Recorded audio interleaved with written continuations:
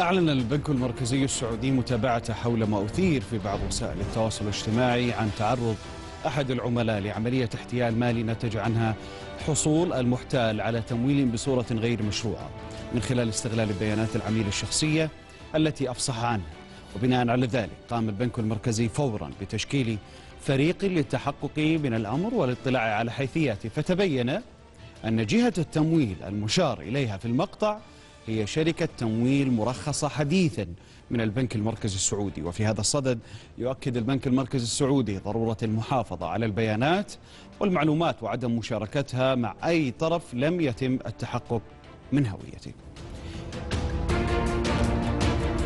هنا لنا تعليق مع هذا الخبر المتعلق بما أعلن عنه البنك المركزي تحديدا في هذه القضية.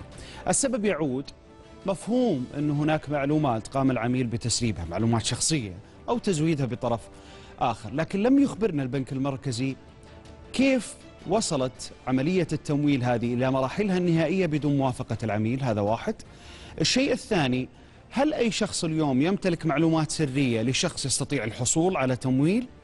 الجزء الثالث وش الخطوات اللي اتخذتها اتخذها البنك المركزي تجاه شركة التمويل لضمان عدم تكرار هذا الموضوع مرة أخرى. حقيقة الموضوع خطير وهناك عدة استفهامات حوله.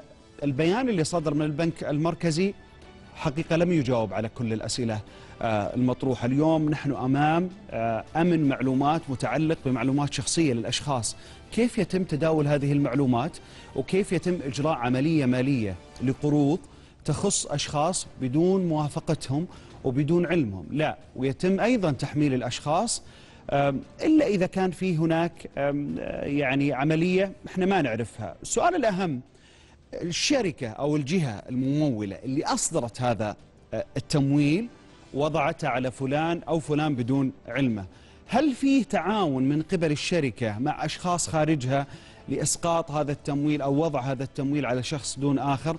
هذه أسئلة واستفهامات كثيرة. نتمنى أن البنك المركزي يجاوبنا عليها.